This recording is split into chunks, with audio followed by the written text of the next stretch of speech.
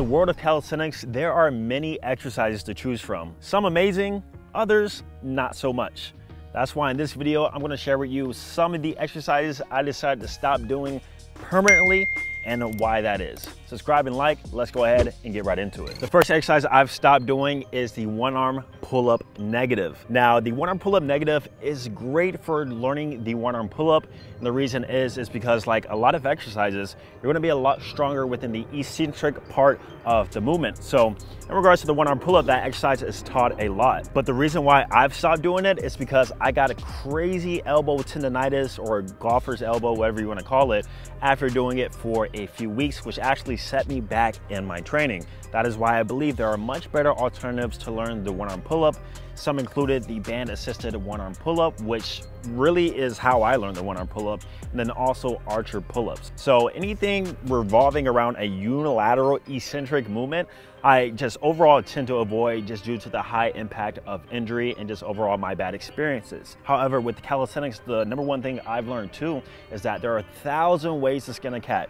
Some people learn with bands, some people learn with progressions, some people learn with eccentrics, and some people learn without doing anything. They just get a carryover sort of strength effect, much like how I learned the human flag, right? So with that being said, one arm pull-up negatives, I'm not doing. I literally haven't done those since, I think literally 2016 and I can still do multiple reps of a one arm pull up. So this next movement is pretty surprising and a lot of you guys aren't gonna believe me, but I've actually stopped doing weighted dips for now nearly a year and a half. And the reason is, is because one day I went in the gym, I was doing some weighted dips, going heavy per usual, as I've been doing for multiple years on end. I had like two or three plates, something like that, going low reps. And then after I got off and I started doing my next movement, I felt this weird pain within my chest, sternum pain. And it got so bad to the point where I couldn't bend over, I couldn't do any pull-ups, I couldn't do any pushing exercises. And I went back home, I started searching, I was like, what is this in my chest? And lo and behold, what I came to find out is that I had costochondritis. And what that means is inflammation of the cartilage in the sternum or rib cage, and that was brought upon me through heavy weighted dips. Now, let me mention, I forgot to mention this, I still like dips. I still do dips here and there, but more a high rep. The thing is, I don't do heavy weighted dips anymore. That's the thing where I'm getting at.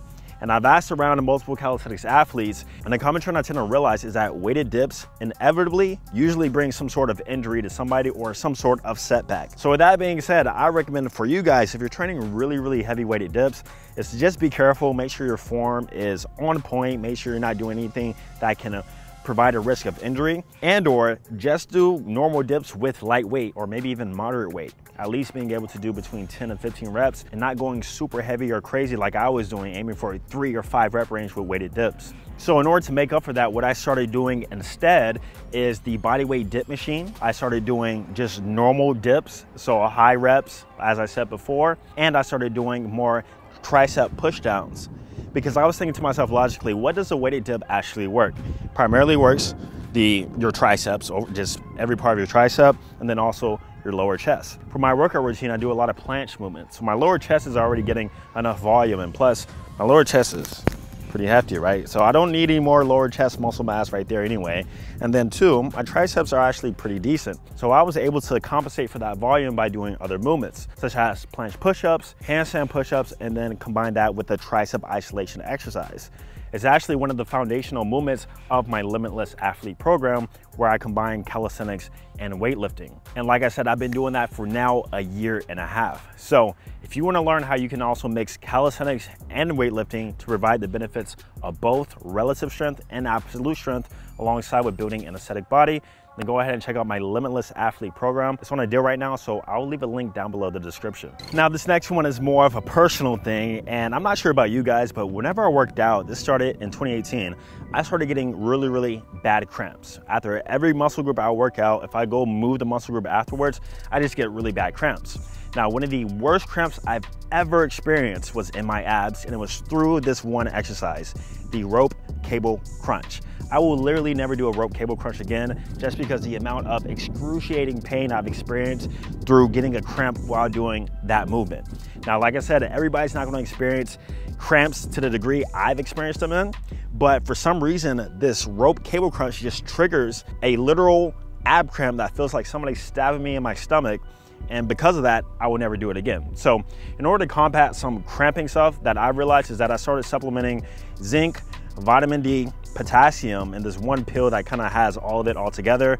I take that before I work out every single day or every time I go to the gym. And then alongside with that, I started doing ab exercises that didn't bring me cramps and that had mutual carryover benefit. The ab exercise I realized for me at least was hanging leg raises or even weighted hanging leg raises. I, for the most part, in regards to training my abs, only do hanging leg raises. The correlation between learning the L-sit, my hip flexors, lower abs, just overall ab development, I found this to be the best movement for me. If you want a more weighted movement, then what I also like is decline weighted sit-ups. I love those. But the rope cable crunch, I am never doing again. I, I felt like I was about to die in the gym. I had to stop my workout. I had to lay still and not move what I was doing. People probably thought they didn't know what was going on. But I would never do it again. And then alongside with that, overall in this whole video, those are exercises that I'll probably never do again and you just learn that through trial and error.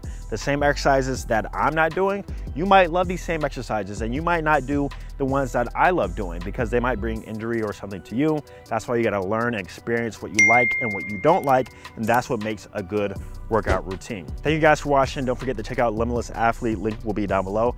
Watch this video next. I'm gonna see you on the next one. Peace.